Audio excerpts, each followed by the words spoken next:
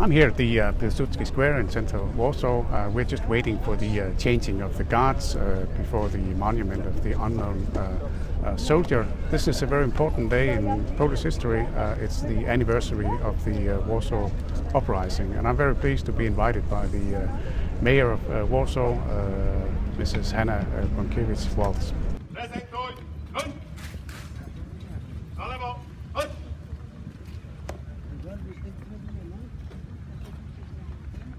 Szanowni Państwo, na uroczystość przybył minister obrony narodowej pan Antoni Macierewicz. Czołem żołnierzem! Prezentuj!